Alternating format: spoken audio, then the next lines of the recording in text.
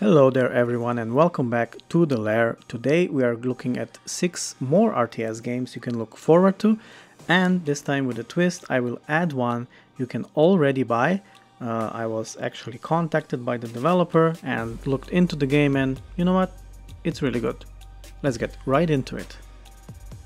Really quickly, if you are subscribed, thank you for that. If you're not yet subscribed, please do so. Please click the button. I'm trying to get to 250 subscribers and if i can achieve that goal i'll be very very happy. So first up we have nuke them all. This is the game you can already buy. Right now it's 70% off on steam and what it is about well dive into a fast-paced action-packed old school rts inspired by 90s classics such as z as well as modern classics like Company of Heroes and They Are Billions. It's all about 100% action and strategic battles with 0% tedious base building and resource collections. Now, what do you do here? Well, you basically capture the flag.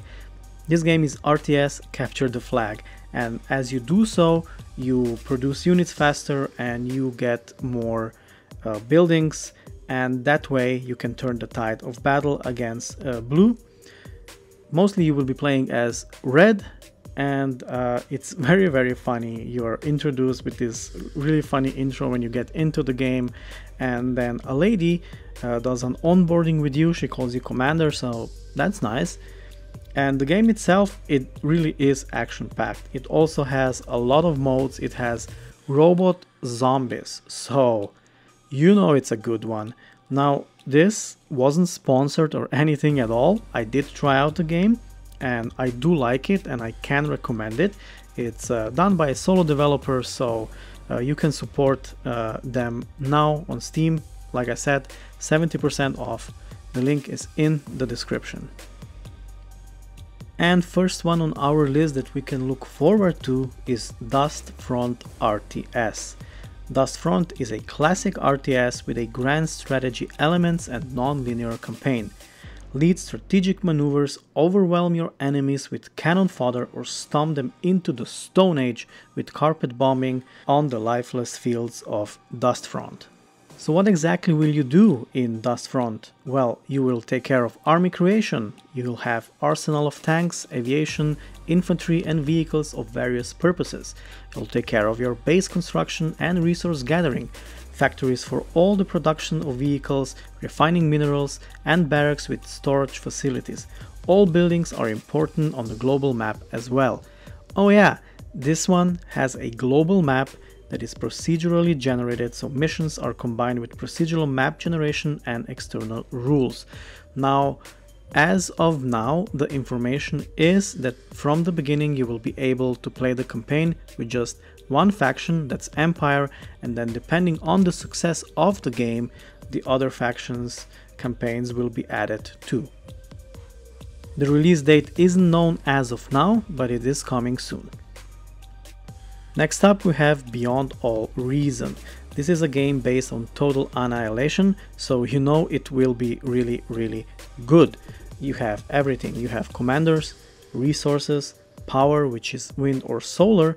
You actually have to uh, see how the map uh, wind power is so then you can decide will you build wind power or solar and then later on you can build fusion reactors and of course we have grand battles between two factions, Armada and Cortex.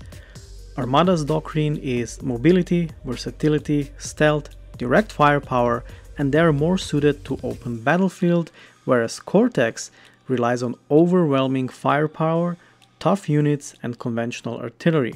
They have cheap main battle tanks, less mobile, but they do excel in both taking ground and leveraging it. They require more metal, but less energy than Armada. So if you want to try it out, Beyond All Reason is available on the developers page. It is coming to Steam, but they did say they want more features uh, so you can try it out on Steam then. Uh, right now you have AI Skirmish and you have PvP. Age of Mythology Retold is next from the creators of the award-winning Age of Empires franchise Age of Mythology Retold goes beyond history to a mythical age where gods, monsters, and humans collide.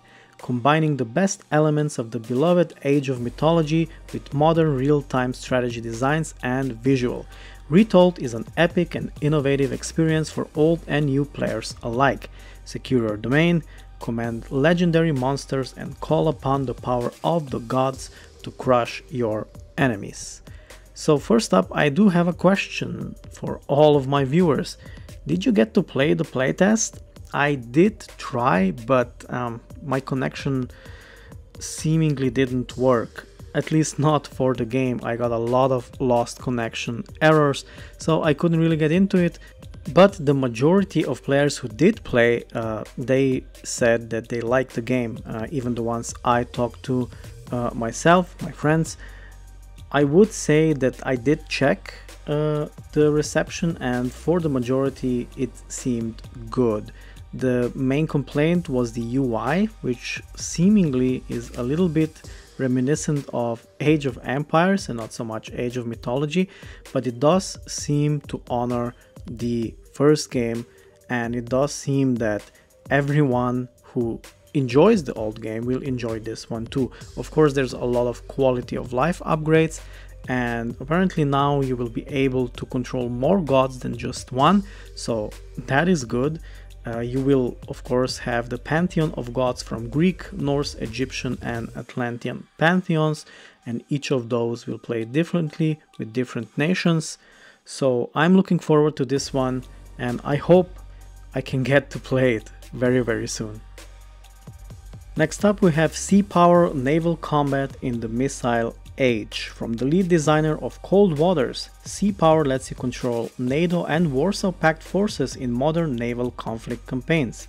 Use your advanced naval weaponry and sensors to respect rules of engagement and defeat the enemy forces in a tense fight for initiative. Well, uh, this one is very, very unique because it focuses more on naval and uh, aerial battles and the story for this one goes after hostilities have broken out in Central Europe, the race is on as a pressured US Navy escort force battle off Soviet bomber and submarine attacks on perilous quest to reinforce NATO defenders in Europe. Meanwhile, in the Persian Gulf, the conflict between Iran and Iraq risks escalating into a larger confrontation between superpowers as both sides indiscriminately attack neutral merchant shipping. Well, it sounds good. The only thing is that Microprose has a track record lately of not delivering the best games, but I do have high hopes for this one. And here we have Immortal Gates of Pyre. Play hardcore competitive battles or enjoy casual matches thanks to Immortal Gates of Pyre easy to learn, hard to master gameplay. Choose from a rich and diverse cast of immortals and factions to find which suits your playstyle. I have to say, this one looks really, really good. Uh, the trailers, the screenshots in the trailers, the battles look amazing, and we are getting a playtest this weekend, so do sign up for it on Steam. In the game you will be able to choose from a rich and diverse cast of immortals and factions to find which suits your playstyle. Now this sounds amazing because it insinuates that you will be able to play your best playstyle, the one that you like the most. If that's true, sign me up already. So next up we have command unique elite vanguard units such as the powerful Zentari warriors of, or the terrifying Bone Stalker. Wield Pyre to cast your Immortal's unique powers, such as the Pillar of the Heavens or the Rain of Blood, to turn the tides of battles in your favor. You also have an optional build assist function that delivers ease and accessibility, so let your armies and bases build themselves so you can focus on strategy. And of course dive into the epic lore behind the God Star Pyre and the world surrounding it spanning across thousands of years of history. I do have high hopes for this one and I do hope that the PvP is as amazing as it sounds. I can't wait for the playtest, I hope I get in and if I do, believe me, I will do a deep dive on this one because it looks really amazing and I can't wait to try it out. And last but certainly not least is Zero Space. cinematic real-time strategy where you change the fate of the galaxy. No two matches plays the same, thanks to nearly limitless combinations of factions, mercenary units and heroes. Play with friends in cooperative or versus modes. Now this one along with the Immortal I'm looking to forward the most on this list because it looks absolutely amazing. I love big intense battles in an RTS game and this one looks like it will offer just that. I loved Command and Conquer 3 where you could build large armies really quickly and just you know destroy your enemy. I did play not so I guess that helped but again this game looks like it will deliver just that. Now there is some very very interesting things in this one. For example, the campaign will feature Mass Effect like uh, progression with your crew and your heroes that you recruit for the campaign which sounds really really interesting. And the choices that you will make will also impact how the outcome is. Now this is very rare in RTS games. So this aspect I'm looking forward to. I do like campaigns in RTS games, even though I am more of a PvP player. But if there's some great lore behind, I'm all for it. Now, an open world campaign with 13 main story missions, 14 hero loyalty missions and 40 side story arcs. This means that this game will be huge and you will get a lot of playtime out of it. You have 3 hours of cinematic cutscenes and interactive dialogues, where your choices dictate the game's outcome. 4 main factions with 10 units and 9 buildings each, 6 mercenary factions with 4 to 5 units each, 14 heroes, and of course, all of that is wrapped in 1v1, 2v2, and 3v3 versus matches, and of course, you can play against AI. I really hope this one gives us a playtest soon too because it just looks amazing and I just want to play it. I'd like so, you know, developer, if you are watching this, um, come on, please. okay. Okay, so these were six more RTS games that we can look forward to.